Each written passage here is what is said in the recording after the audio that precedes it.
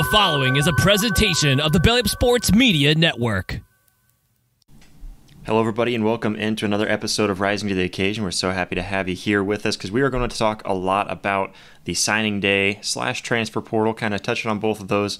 Both of them very much going with each other, and it's kind of crazy this year when you see just how big both of these days are because you have you have the transfer portal, which I think is bigger this year than ever. We've talked about that, but we're going to talk more. And then, of course, recruiting. We're going to get into the recruiting rankings and where everybody falls after signing day.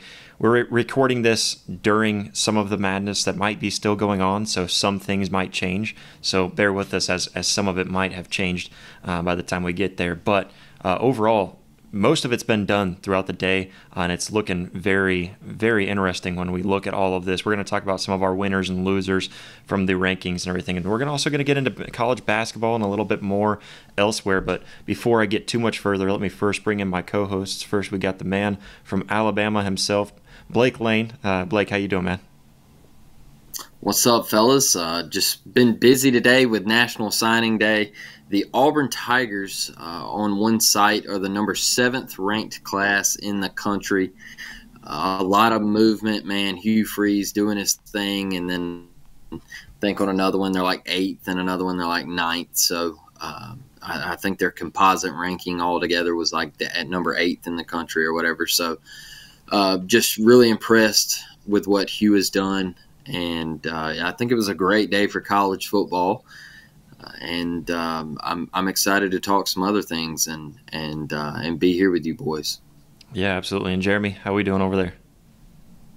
I'm doing pretty good. It's been a crazy day just for I mean it's been crazy since the transfer pool and everything has been going but it's just so hard to wrap my head around just everything just because it feels like every 30 seconds my phone's buzzing for ESPN just blockbuster moves trades with the transfer pool and everything but going pretty good. And obviously we got some other stuff to talk about like we're going to bring back the two minute drill. Obviously we're going to be talking a little bit about the guy named Aaron Rodgers who we expected to see a lot more instead just out of one series of football than also bringing back the name some guy named Ja Morant that we finally get to talk about again. But thankfully, in a positive note, then obviously we got some other stuff that we're going to talk about. So I'm going to cut the chit chat, guys, and let's get rolling with it. Yeah, absolutely, guys. I mean, starting off here, I mean, we're going to get into the recruiting and everything that's gone down. Blake, like you said, your Auburn Tigers, very happy with what he was doing over there, man. He's he brought in some big time guys and then making making some flips. But let's start off at number one the obvious, and that's the Georgia Bulldogs. Uh, I, I, don't really have too much to say about that because I just you expect it at this point. Kirby's just going to recruit, and that's where Kirby lives. He doesn't really need that transfer portal as much. Uh, what's what's worked for him for so long is, is going to keep on working for him. And, and I mean, number one, anybody surprised by that? I'm not at all. Um, I, I actually had a buddy reach out to me and he's like, What's going down in Athens, Georgia? And he's like, They're having players leave the portal left and right. And I'm like, Well, first off, they got 85 blue chips over there. So playing time is at a bare minimum for most. And then they're also signing the number one recruiting class in the country. So, you know, I, can, I understand why guys are leaving the portal, uh, getting into the portal and everything and leaving. So, it's what Kirby does, man. He beat us out for KJ Bolden, the number one safety in the country today, and uh, you know it happens. It's part of it. Uh, you know the kid's from Georgia, and he was committed to Florida State, and Auburn made a push, and and I guess Georgia came a calling, and kid wanted to play in his home state. Can't blame him. Not mad about it, and you know Georgia they they did what they had to do, man. That's why they're you know they're on top of the college football world the past two years, and and they were in the SEC championship game again this year. So you're right, man. That's how Kirby gets it done. He doesn't attack the portal a whole lot, not not too not too much, but uh, he, he really grinds on high school kids and, and getting it done in, in the recruiting ranks. So uh, that's how he's built that program. Yeah, and I'm, I'm interested to see how it all shapes up to after we get a few more years into the portal, the way that it is nowadays, um, because you know, it, it's hard not to group these two together between recruiting and in the portal because you are still trying to recruit. And then on top of that, it's kind of unfair to college football coaches that they have to not only recruit the guys that they want to bring in, but they also have to recruit the guys to keep them there in their program. So kind of going there, I mean, that's that's one thing. Uh, you know, just looking at it, whether you're going to build on the the portal itself or build from recruiting, and I think personally, I feel like there's got to be a perfect mixture of the two, uh, and you're, you're going to see over over time where that really plays into the, the equation. Um, but then, of course, you know, you look at, at, at some teams like I think Ole Miss. I, that might be one of the exceptions because you saw what they were able to do this year with a better year and uh, sitting at 10 wins, looking pretty decent. But then you look over at Colorado uh, and where they rank. I mean, in, in recruiting wise, they were like past 90, somewhere like 95th, 96, something like that in the nation in recruiting. And of course, they're going to attack the portal for everything, and that's that's one way to go. But we, we saw what that was able to do for Florida this past season with only four wins. We'll see where it's able to kind of go going forward. Um, but number two, another no no big surprise. We got Alabama sitting there at number two. Uh, they were able to pull in some big guys. I know they had that big corner, uh, Jalen Mbakwe, uh, who was one that they were able to pull in, uh, and then even a, a, quarterback who apparently is actually practicing with the team, just uh, you know in preparation, not able to play until next spring. Um, but they got Julian Sayin. Uh, and that's that's a big time pull in for them, and, and I'm sure that's going to be something that will kind of heat up the quarterback room a little next season. Uh, and seeing where Jalen Milroe sits, uh, I guess kind of open it up to you guys. Any any surprises with Alabama at number two? Uh, no, no surprise, Josh. Uh, completely expected. Uh oh, my little boy. Um, but uh, it, it was completely expected, man. Uh, and and they got a big running back flip today from Miami, and yeah. it's just Nick Saban just doing what he does, man. And that's why he continues to also stay on top of the college football world. Yeah, I mean it's it's crazy, but I mean, Jeremy, looking at looking at what Alabama's doing, uh, you know, there's there's been buzz for I don't know how many years now whether Nick Saban's going to go out. Uh, but I mean, whether whether he retires this year or or and what is it like eight years from now, whenever his contract is up, uh, I mean, I, I, don't. I think the way that Nick Saban builds up these recruiting classes like this, regardless of when he goes out, it's definitely going to leave the next guy in, in a good good position. Oh yeah, definitely. I mean, for whenever that time comes, for when Nick Saban finally hangs it up, it's definitely going to obviously be different because we're obviously all just used to Nick Saban's mentality, just going out and finding top five star recruits and tier people. But I mean, at the end of the day, I mean, just getting some of these guys that they've able to acquire. I mean, realistically, I don't see Alabama taking any steps back. I think they're just going to keep shooting for the stars here and just keep just keep simply rolling in this kind of aspect. And I think we're honestly going to maybe see a better Alabama team going into next year than what we currently have for this season. Yeah, I mean, uh, definitely. I mean, looking at what they had this season, that's what's kind of the shocking thing with Alabama is this might be like one of the worst overall rosters and overall talent that they've had in a while, and that's that's saying. I mean, I guess it's not really saying a whole lot because it's still a great squad that they've got, and they've made it to the college football mm-hmm. playoffs again. And uh, they're they're a team that you you would expect to win it all. I think a lot of people are putting their money on Alabama to come out of this thing. Um, but kind of going down, uh, one that kind of shocks me is what Dan Lanning is doing at number three, Oregon Ducks. Uh, they they pull in pull in the number three ranked recruiting class on top of what they're doing in the transfer portal, and we'll get to some of the things that they're doing in the transfer portal uh, in a minute. But just looking at them and seeing what they've been able to do in recruiting, I, I'm I'm personally surprised that they're able to do this. I mean, kind of talking about a couple of things. Of course, we've talked about Dillon Gabriel coming in from the transfer portal, uh, and then of course now they bring in Dante Moore, another quarterback, to add to that roster into the uh, transfer portal. Now, I mean, when when you attack the transfer portal the way that they have it's hard to recruit as well as they have. And I, personally, I'm I'm looking at the way that Dan Lanning's doing this and keeping it 50-50. He might he might be onto something. Uh, Josh, I, will be honest with you, man. Dan, the way he's doing it geographically too, he's not just doing it out on the West Coast. He's doing it in the South uh, out on the East Coast, everything, man. He's going nationwide with this thing, and he's trying to build an SEC program up there, and he's trying to get dirty in the trenches. And look, he lost Bo Nix and Ty Thompson. I guess he didn't have the faith in him, so. Uh, you know they bring in Dillon Gabriel for a year, and then you got Dante Moore, who should have went to Oregon in the first place. Uh, instead of UCLA, and and now you're going to have Dante Moore sitting behind Dillon Gabriel to learn for a year, and you know Dan's going to attack DBs in the portal. I know he brought in the the, uh, the great recruiting class. Oregon's going to be just fine, man, and and if he keeps winning at Oregon and Nick Saban coaches a couple more years.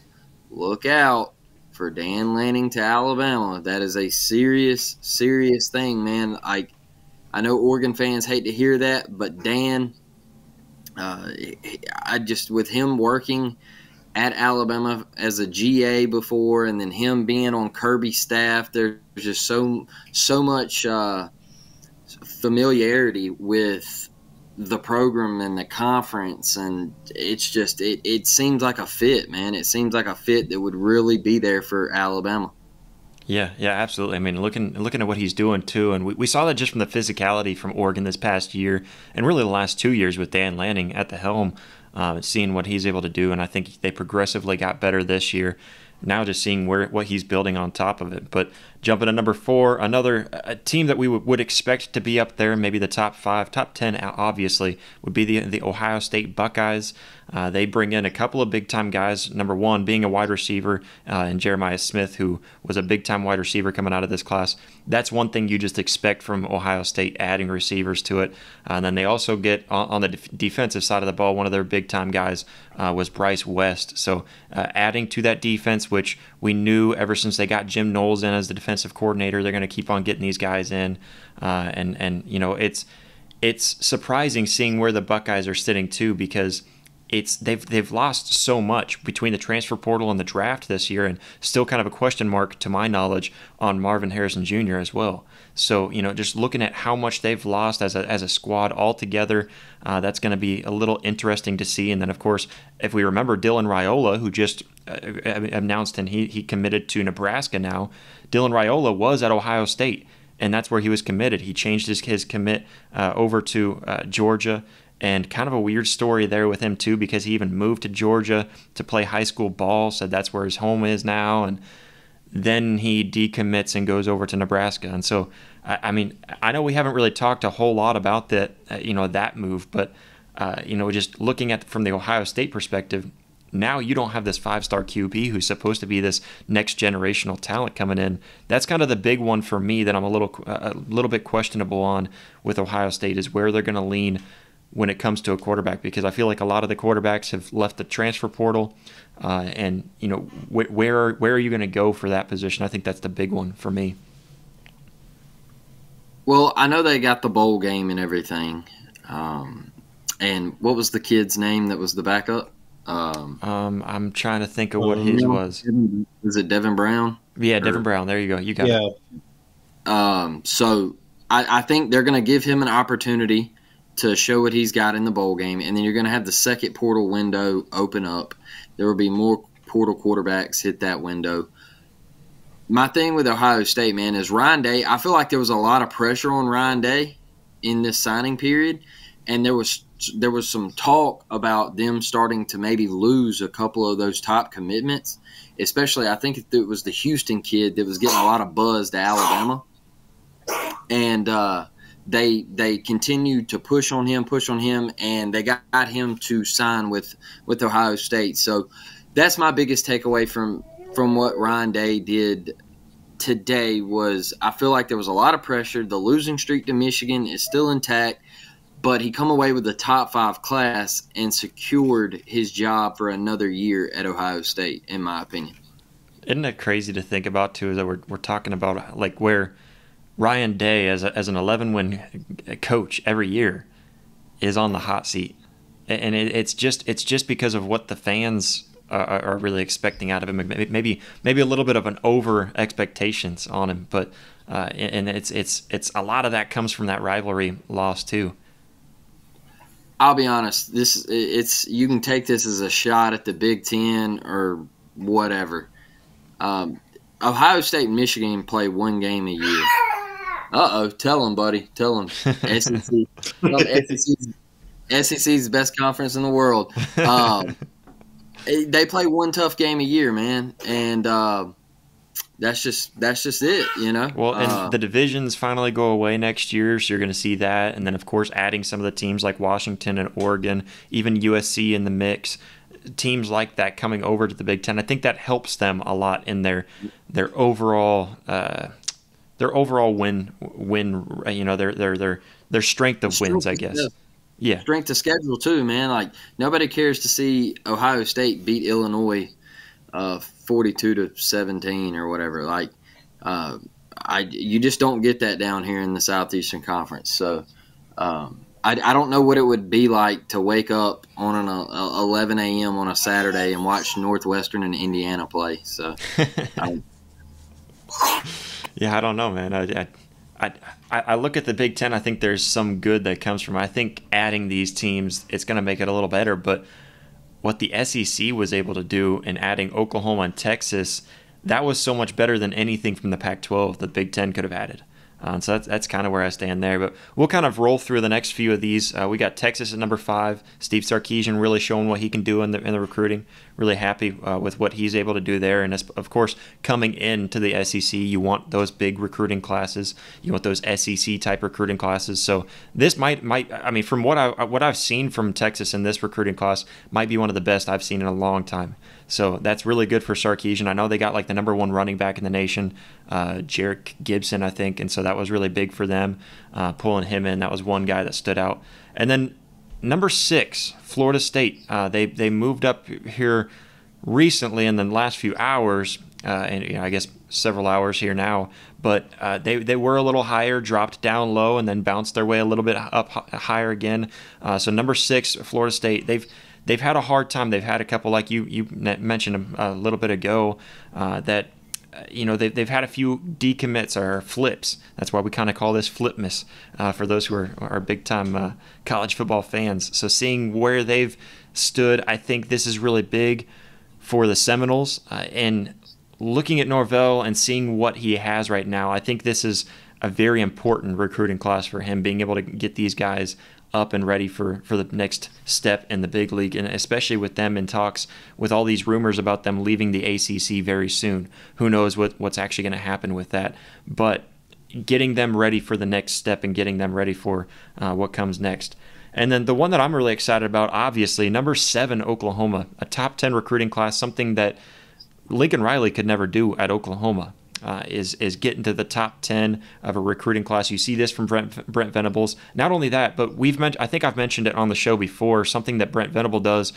Venables, what he does is when he gets a verbal commit, he tells the kids, "You don't verbal commit unless you're ready to sign with us and you're done taking other visits."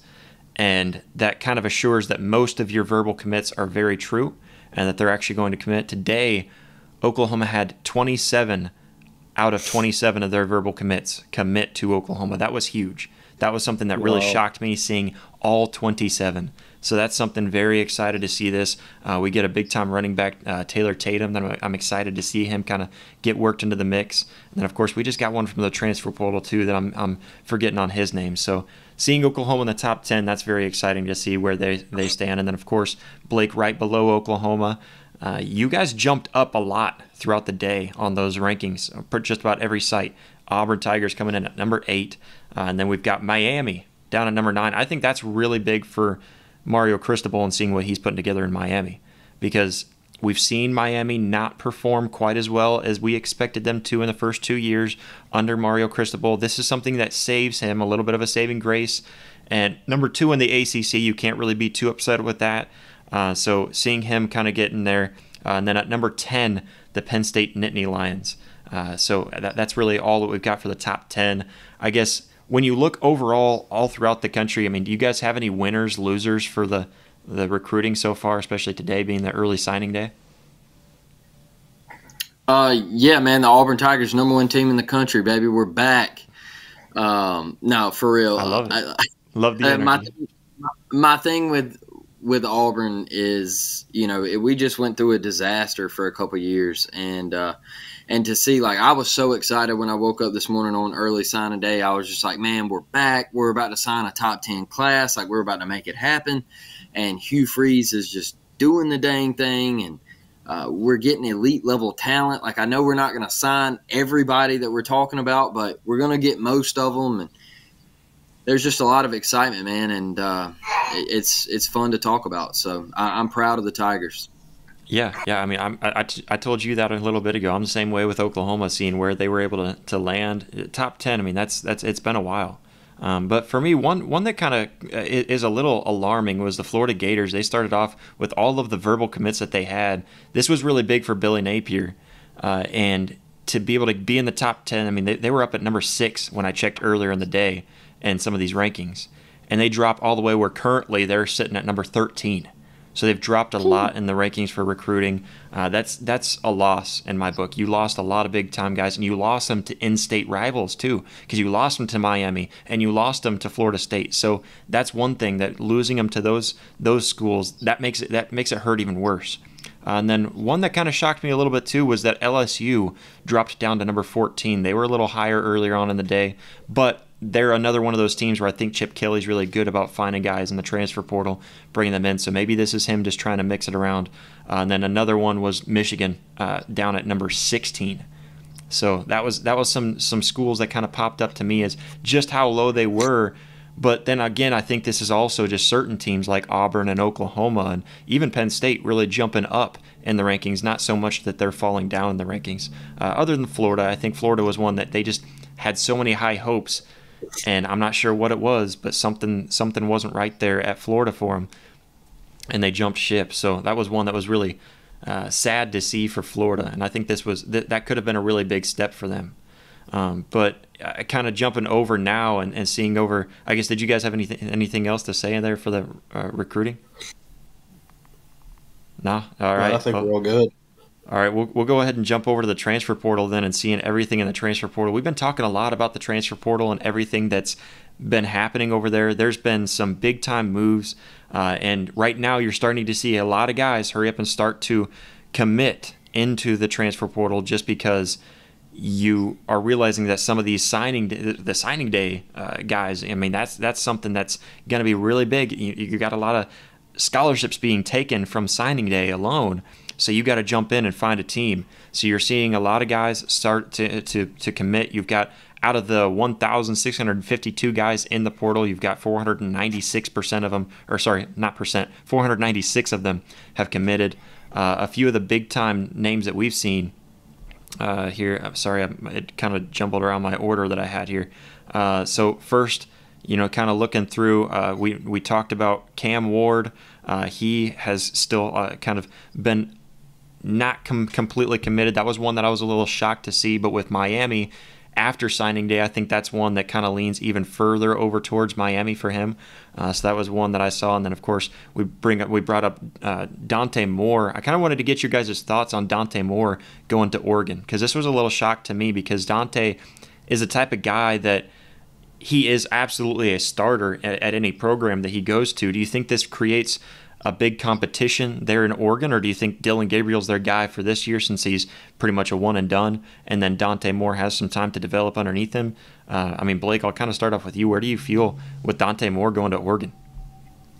Uh, just like I said a while ago, man, I think this is a big move for the Ducks because you give that chance for Dante to sit behind Dillon, a guy that's a veteran in college football and he's played many a big time football game. So I think I think if Dante would have went to Oregon like he was supposed to the first go around, he would have gotten to sit behind Bo Nix and he would have been moved into that starting role more than likely over Ty Thompson.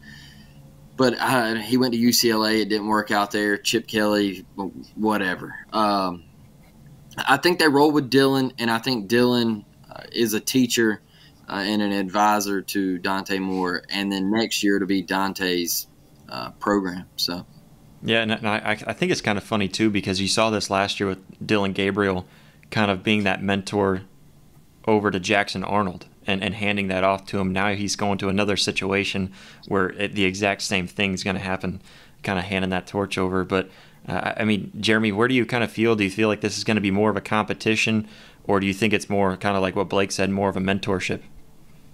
I'm really agree with what Blaze says. It's going to be a mentorship. I mean, you get you get somebody with a high caliber like Dante War. I mean, he's definitely going to be balling out to say the least. Like, obviously, getting getting your feet rolling with a new quarterback, obviously compared to being from UCLA. I mean, obviously, even with Dillon Gabriel's situation coming from Oklahoma now going up to Duck Country. I mean, I realistically think once the time starts to get going in the season, or even like even maybe before the season, obviously when they're even finally getting to practice, I think they're going to have a, a really good connection to each other. And I sincerely think that this could be a really good situation for um, Oregon. Don't get me wrong; like I'm not saying that now obviously the Oregon doesn't have Bo Nix or as Blake would say Bo Heisman in his mind.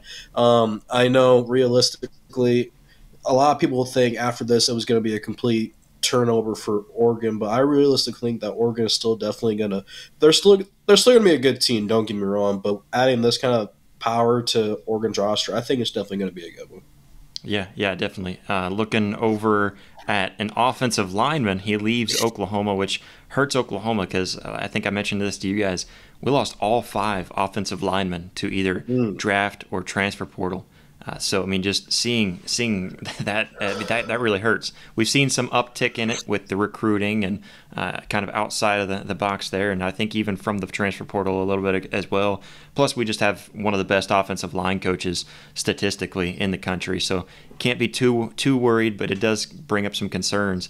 But Cayden Green was a freshman. He was an amazing uh, offensive lineman. He was a, a tackle, and he played amazing for Oklahoma. He commits over to Missouri kind of seeing that. I mean, Blake, we, we've talked a lot about this, but Missouri now picking up some guys in the transfer portal that could really help out, especially an offensive lineman, kind of helping out and building that program. Uh, I mean, do you, do you see guys like him with being Cayden Green being the biggest offensive lineman in the transfer portal? Do you think this is kind of a sign of what's to come for Mizzou? Yeah, and uh, you know they were just wanting to fire Coach Drink uh, last year, yeah. and I, I think that's a problem that we have in college football right now. Is we want instant success, and when somebody doesn't give you first, second year success, you want to fire them.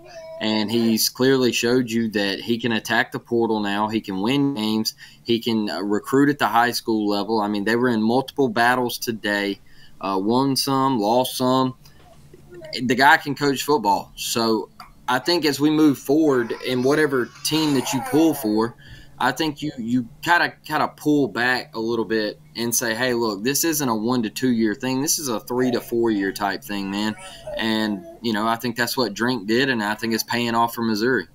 Yeah, absolutely. And the last one I'll, I'll touch on for the transfer portal for today, just because I feel like we've we've touched a lot on all these teams so far, but. Kyle McCord, originally thinking that he would go to Nebraska, and it leaned very heavy in that direction. All of a sudden, things start to take a turn. It sounds like Dylan Raiola might come in. The rumor was that Matt Rhule and the coaching staff said, if you come in, Dylan Raiola seems like he might be committed. We're going hard after him. It's going to be a competition.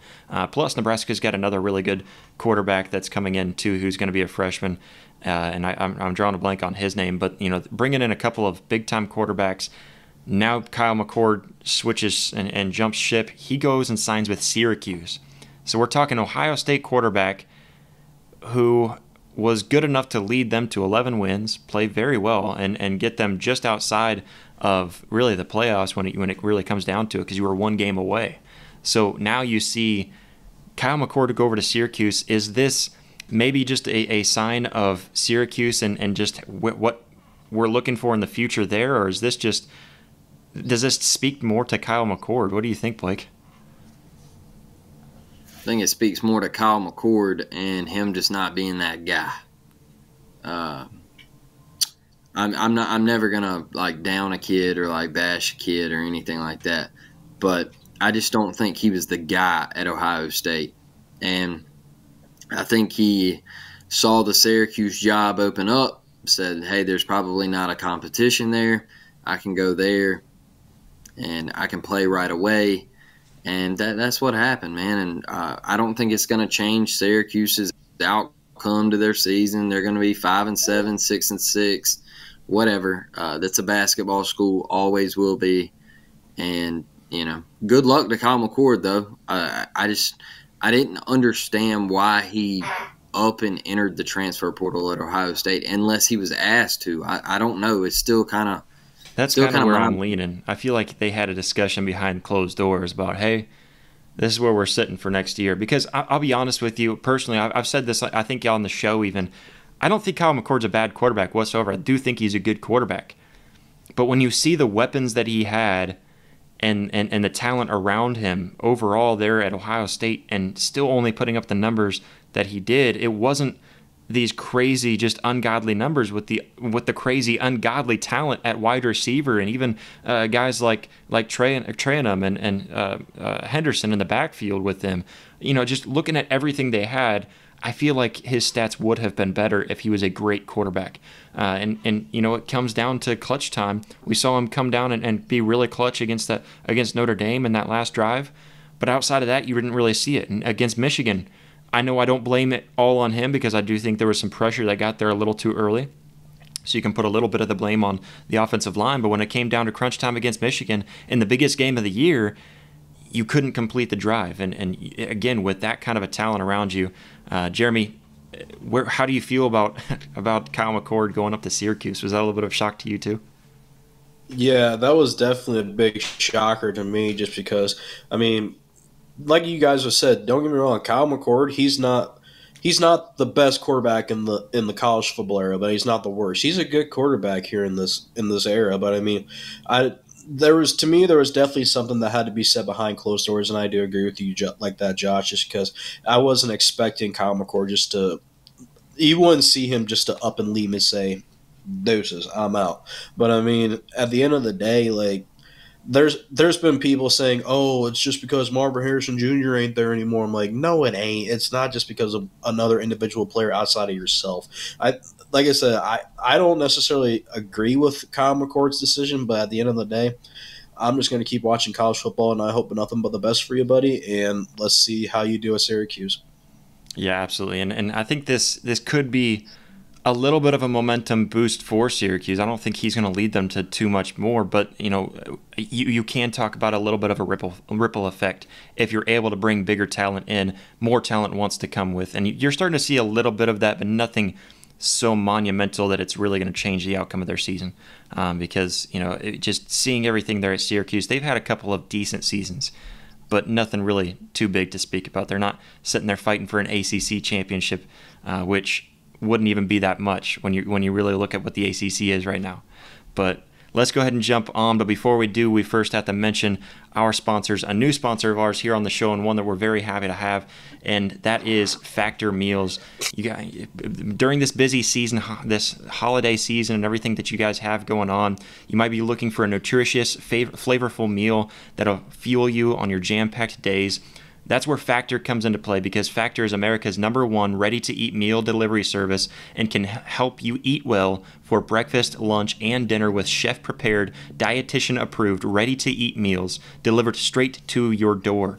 You'll save time and stay on track with your he- with your healthy lifestyle while tracking all of your holiday to-dos. Guys, Factor Meals is a very amazing product. Uh, it's very, very uh, nutritious. It's it's something that's very fun, and I know uh, Blake's even showing you some of the stuff that they sent him here. What what do you got there, Blake? I have the tropical fruit smoothie. Uh, I, as you see, I can show you that I did like it. I, I swallowed it down uh, yesterday when I got home, and uh, it's pretty good, man. Like it is not bad at all. I enjoyed it. I have not tried any of the meals yet, but the smoothie was fantastic and I think there was a strawberry banana one also that my wife tried and she said that uh, she will definitely be going back for that. So uh, I, hopefully I can get to try that one. So yeah. I, I enjoyed it, man. I even use them uh, as a spit cup now too. So yeah, I noticed that. But no, I mean they really are. They're amazing. I've used Factor in the past, so I knew what they were all about. Whenever they wanted to sign with us and, and be a sponsor, I was extremely happy, extremely excited to have them on. You guys can try Factor as well um, because honestly, you don't want to miss out because cross cross meal uh, you, you can you can simply cross meal prepping off of your list. That's one thing that's really hard for me. I'm on the road a lot, and things like trying to pack my meals is one thing that's just a lot for me to take on. You know, and and a lot of the times I have to eat out. That's not very healthy, uh, and it's it gets old after a while too.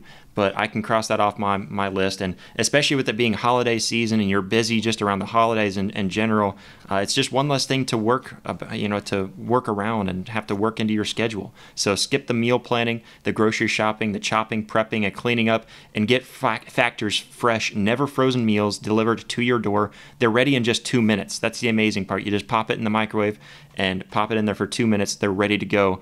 Uh, so all you have to do is heat it up and enjoy. So head to factormeals.com slash risingto50 and use code risingto50 for 50% off. Guys, that's an amazing deal and one that you do not want to miss out on. So again, that's code R-I-S-I-N-G-T-O-50 at factormeals.com slash risingto50. Get yourself 50% off and save so much time this holiday season with Factor Meals. I promise, and as Jeremy would say, you will not be disappointed. But guys, let's get back to the action. Uh, again, thank you to Factor Meals for sponsoring this episode, uh, being a partner of the show. But let's get into college basketball real quick. I wanted to pull up the college basketball top 25 a little bit of a, a change up and seeing everything in college basketball this year and seeing how, how great it is. First of all, my Oklahoma Sooners are here uh, about to tip off in about an hour and 15 minutes. And so I'm, I'm really excited. One of the biggest games that I can remember in a, in a regular season game, I guess non conference, because Oklahoma's sitting there ranked number seven, uh, going against number 11, UNC. It's going to be a really fun matchup. I think this is going to be the first big test of the season. So I'm going to finally see what this Oklahoma team is really all about. Uh, so that's one thing I'm, I'm pretty excited about and seeing where they where they are right now in the season, sitting there as one of four undefeated teams. Uh, so that was another exciting thing to, to kind of look at and to see where they're sitting. But number one, uh, we actually have Purdue swap for number one. Uh, so we have Purdue up at number one, and then Kansas. We've got Houston sitting there at number three, uh, who is also one of the undefeated teams. And then we've also got Arizona at number four, UConn at number five. Uh, we've got Marquette at number six, Oklahoma at number seven, Tennessee at number seven, or uh, sorry, at number eight, and then at number nine we've got Kentucky. Number ten we've got Baylor, and then UNC, North Carolina sitting at number eleven, Creighton at number twelve, Illinois at thirteen, FAU at fourteen, Gonzaga at fifteen, Colorado State at sixteen, BYU at seventeen, Clemson at 18. Then you've got Texas at 19. And then another undefeated team, James Madison University at number 20. Duke uh, 21, Virginia at 22, Memphis at 23, Wisconsin at 24, and another undefeated team, Ole Miss at number 25. Guys, I mean, seeing all, all of these top t- top 25 rankings, first, a shout out, of course, Oklahoma jumping all the way up to number seven. I, am gonna I'm gonna give props to them, but also James Madison. How we feeling about James Madison?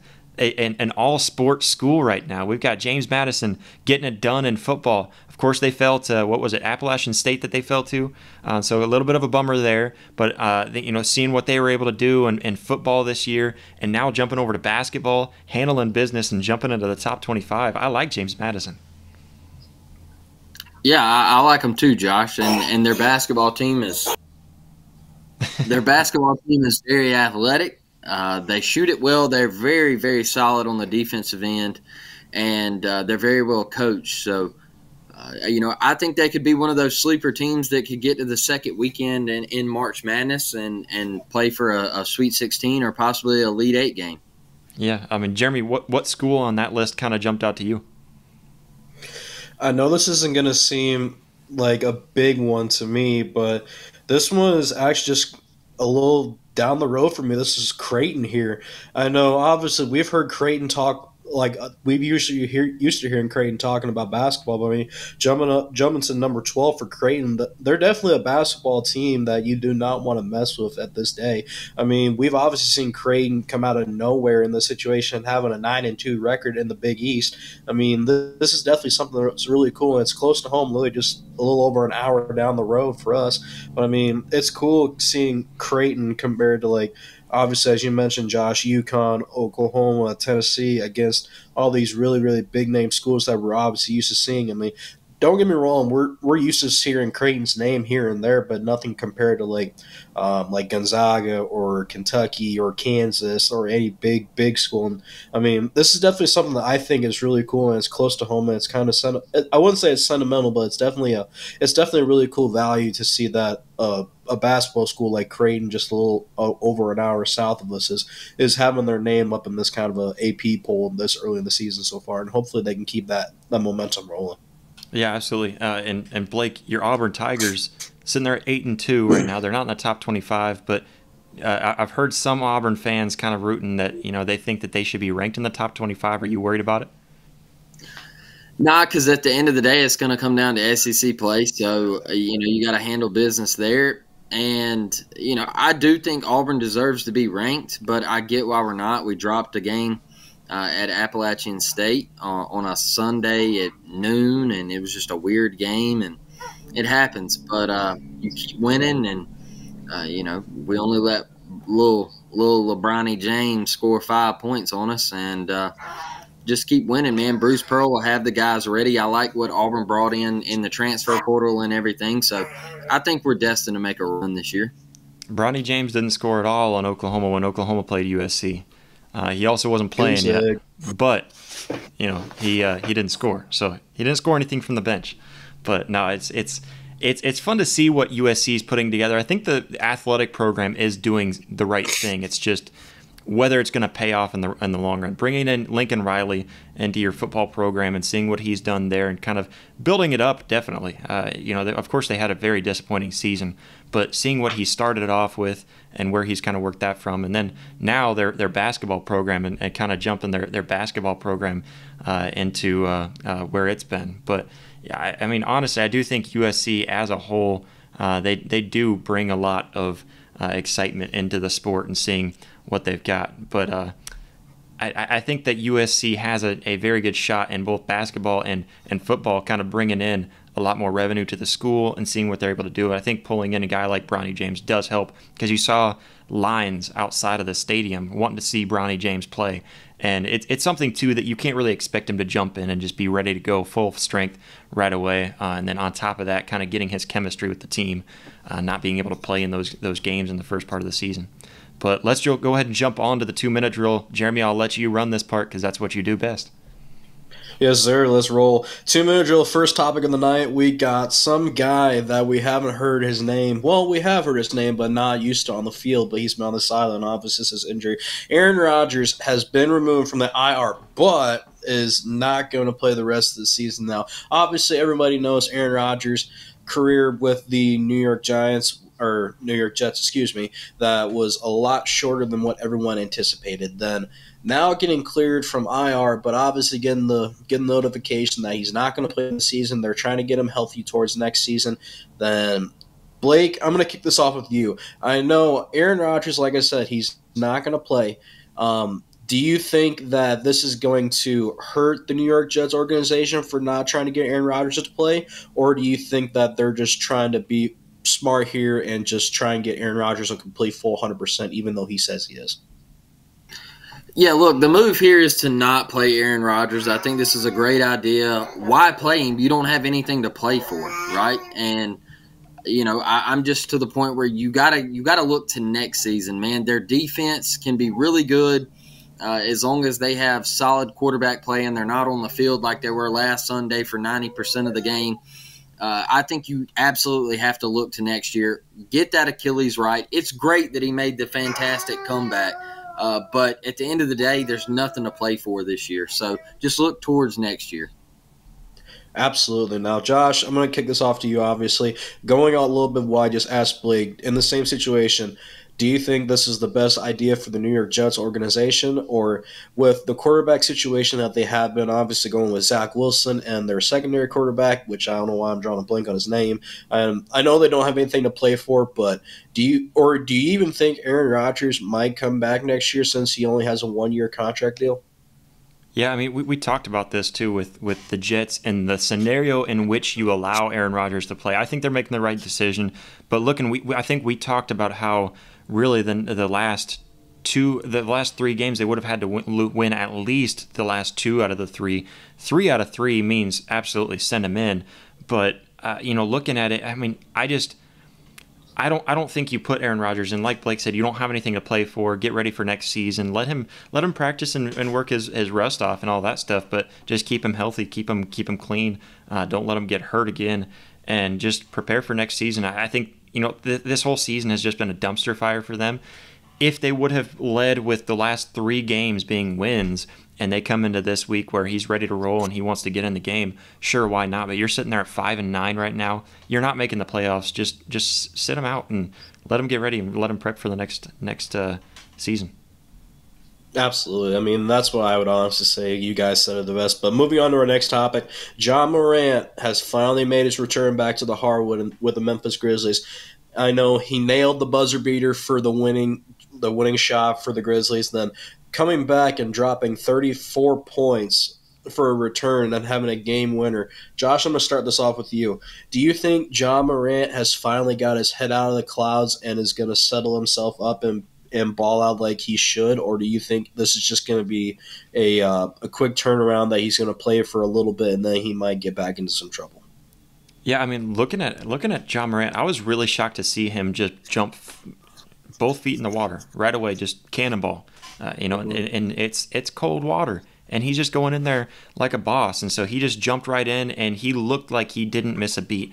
Uh, I'm really excited to see the kid back on the court and seeing him play. I think it's it's exciting seeing him play because he's he's a phenomenal uh, player. And if you saw that buzzer beater, you know just how how great of a player he is and how clutch he is and how much talent he brings to the court. So seeing him, I mean, yeah, like you said, 34 points. I think he went 50% from the field, which is really good in basketball overall. You can't really expect a whole a whole bunch more than that. So seeing what he was able to do last night, it seemed like, it, I guess it didn't seem like he, he didn't skip a beat, but it looked like he jumped in and he still has room to improve. But you're happy with that because the the few mistakes he did make didn't cost the team or anything. I, I think he looked really good for just now jumping back in from I, I, don't, I don't even know how many days it's been since he's been back on the court. Uh, so I'm, I'm excited. And t- to answer your other question too, I, I hope that he has his head out of the clouds. I hope he's got his he's level headed uh, and and coming back in with the right mentality because, like I said, he's he's a generational talent. He's so fun to watch, and I think him being on the court is good for the Grizzlies. It's good for the NBA. And it, it's good for him. I think that's where he belongs. So I, I really do hope that he's got his, his head straight this time. Absolutely. Then Blake, I'm going to kind of ask you the same question as I did to Josh. I mean, do you think this is definitely the time that Ja Morant needs to realize that you don't get very many shots in this kind of situation. He's just lucky to be able to play basketball. And coming off of a 34 point return to the NBA, I know this is definitely, uh, I wouldn't say it's a milestone, but it's definitely a great way to come back. Now, what do you think is going to be in store for Ja Morant's future here in the NBA, and what do you think is going to be like for the Memphis Grizzlies going on for the rest of the year? Stay clean, Ja. Stay clean, man, and, and do it off the court now. Do it off the court. And I think the Grizzlies could, I think they could get hot and make a run because uh, obviously you get one of the most electrifying basketball players uh, in the association back. And we know he's going to hoop and we know he's going to put up big numbers. I just want to see him do it off the court, Jeremy. Uh, get right, man, and, and do it the right way and be a role model to these kids.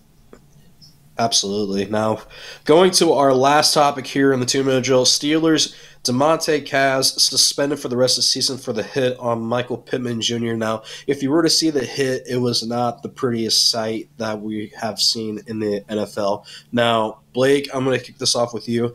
I know he's done this before and he's violated a lot of the NFL's safety protocols for in this kind of a situation for hits.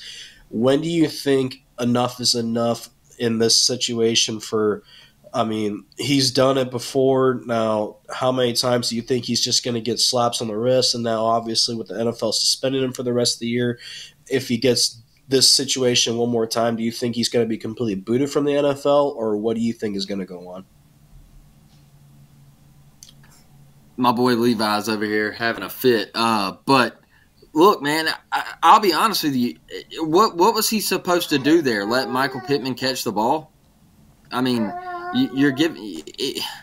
I just, I don't know, man. It's football, and and he made a play. I know it was violent and vicious and everything, but what's he supposed to do in that position? And and I just feel like as a defender in today's game, man, it's just really, really difficult uh, to play DB and and uh, to play defense. Period. You know, I, I just feel like, I mean, in that situation, he was going in to make a football play, and yeah, it was a it was a terrible hit, and Michael Pittman suffered from it, and hopefully he's okay. But I mean, to suspending for the entire for the rest of the season, like that's insane to me. Um, I don't know, man. I, I just think football has gotten to where uh, it is. Before long, we're going to see flags put on them, and they're not going to be able to tackle each other. And uh, it's just it's crazy to me. I, I just don't know where the sport's headed, honestly.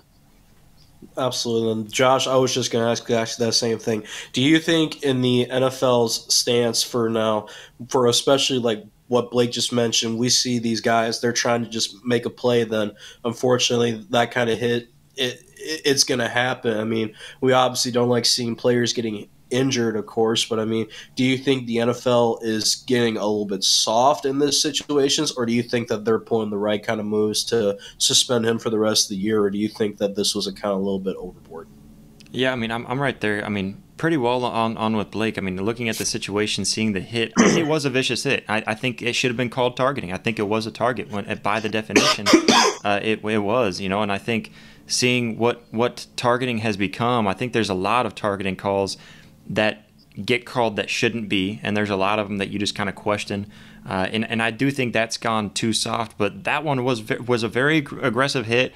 Uh, if you want to suspend him for the game, sure. I think targeting needs to be reevaluated. I think suspending somebody for an entire game over targeting is is too much. Now you're suspending him for the season because of this hit, and and you know I, I I'm right there with Blake. I think it was a very it was a very aggressive hit, but sometimes you are just going in aggressively because you're trying to make the right play. And you're, you're, I don't know what else he was supposed to do in that situation if he wants to defend the ball. I don't think he intended to actually hurt him. It didn't look intentional at all. It looked like he was just trying to make a big, big hit to jar the ball loose. That's what his job is. So suspending him for the whole season, that definitely takes it too far in, in my eyes. I don't, I don't think the whole season was really the right punishment. I, I don't think the punishment fits the crime whatsoever. I agree with that. I mean, when I first got the notification to say that he was suspended for the year, I was I was utterly shocked just because, like, in this sense, we've obviously just used to seeing maybe like a fine in this situation, but not getting suspended for the whole year. But um, I'm not going to go on farther just because I, if I do, we're going to be here for another hour. But that's all we got on the two minute drill. Josh, what do we have left on our lineup tonight? All that we have left is our DraftKings bets. Of course, our DraftKings Ooh. bets are presented by DraftKings. You guys can check out DraftKings. If you're into sports betting, you know that it's very important to have a very good, very reliable sports book that you can go to that you know you're going to put your money in and be able to get more money out of it because you know that it's going to be reliable. It's not going to steal your money unless you're just a really bad sports better. So we do recommend and, and strongly urge you that if you are going to be on any kind of sports book and being on any kind of sports betting that you please bet responsibly, uh, and you must be 21 or older to take any kind of sports betting uh, or to participate in any kind of sports betting. You can go to rising2.com slash DraftKings. That's R-I-S-I-N-G-T-O dot com slash DraftKings. And you can sign up today, bet $5 and get $150 in bonus bets instantly. That promotion may vary by location, so you'll have to check into it for your location. And you must be in a, in a state where it is legal for you to bet with DraftKings. But go check it out. DraftKings, one of our favorites to use. Uh, I'll go ahead and start us off with tonight. We're going to be betting for Thursday uh, games since we're recording this on a Wednesday, but it's going to be Thursday when it's released. So we're going to put out our our bets for tomorrow, which will be today for you guys. It gets very confusing on this side of the camera, um, just so you guys know how much effort we put into this and we have to sit here and try to guess ahead of time when a lot of the a lot of the odds might even change by tomorrow too so whenever we're whenever we're making the big bucks where we can be paid and be able to do this the day of, that'll make, make it a lot easier on us. Um, but I'll start us off. My DraftKings bets. I'm going to go with Arizona money line over the Sharks, the Coyotes over the Sharks in the NHL. Uh, I'm going to take the money line there at minus 155. I'm liking this. I think the, the I don't know if you want to say Coyotes or Coyotes, um, but Arizona. I think they're doing some things that make it look like this franchise is starting to turn around into something a little better than what it's been for really the last 20, 25 years. So I like what's what they're going over there. Plus the Sharks are just an atrocious, uh, you know, uh, team right now. They do not look good. And then I'm also going to take the Sa- the Saints Rams Thursday night football under. Uh, it's hard for me to take an under because I love rooting for the offense, but I'm going to take the under at 46 and a half, uh, and that is minus 110.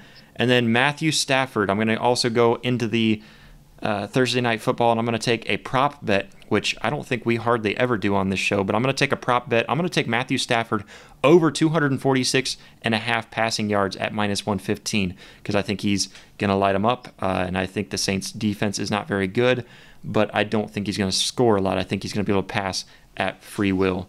Uh, Jeremy, let's kick it over to you. What's your DraftKings bets for tonight?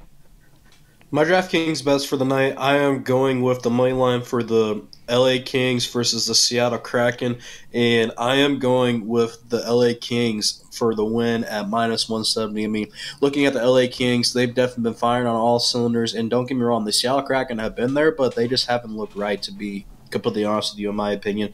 And my second one for the night, I have the Vegas Golden Knights versus the Tampa Bay Lightning, and I am sticking with Vegas because what happens in Vegas stays in Vegas, baby. And I'm having them pull out the dub at minus 102. Then the Golden Knights, they've just been.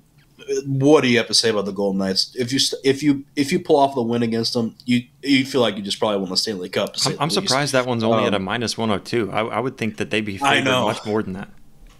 I know. Uh, when I They're saw that, that's why I jumped on it. I'm like, "There's no way this is at minus 102. I thought I, I thought I was reading it wrong. But then my last one for the night, I'm going with the over under situation. I'm going with the De- New Jersey Devils versus the Edmonton Oilers. And this one, I was in the same situation, but it was up there, and I was really tempted to even pick the over just because you got these two teams that are firing on all cylinders and just playing good hockey. I am going with the under on this one, and it is at minus 112, and the over under situation is at seven goals. And I mean, at this, I mean, you look at you look at the, both of these teams. I mean, the, the Edmonton Oilers just give the puck to Connor McDavid. He can probably put it in the net five five times out of ten. Uh, same with the the New Jersey Devils with the Hughes brothers and Nico Hischier and Jesper Bratt and it's just been it's just been an all around good year for the New Jersey Devils and the Edmonton Oilers. So that's my three bets. Blake, we're going to leave it off with you. What do you got for tonight? Uh, give me Syracuse in college football money line. I like the orange. Uh, give me the Maple Leafs money line, uh, and then I will take the Rams money line as well. So those will be my three. All right. Yeah, I mean, I, I like the Rams too. I mean, looking at them I, am looking at, the, the, Thursday night football games, the way that they've been too. They've been all just duds, but then we have a couple of them that just go off and they hit hard. Uh, I think we had that Cowboys.